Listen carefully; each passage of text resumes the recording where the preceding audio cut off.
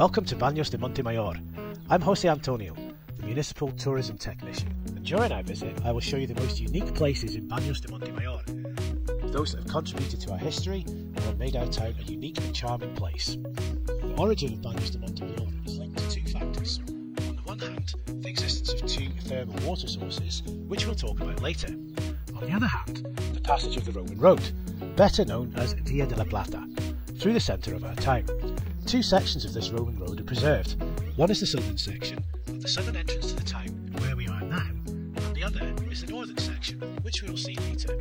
The greatest curiosity of the southern section is that if we continue 100 metres down in a southerly direction, we'll find a Roman bridge called El Puente del Cubo, since there are few remains from Roman times. And now we're going into the town and we will visit the places that I have mentioned.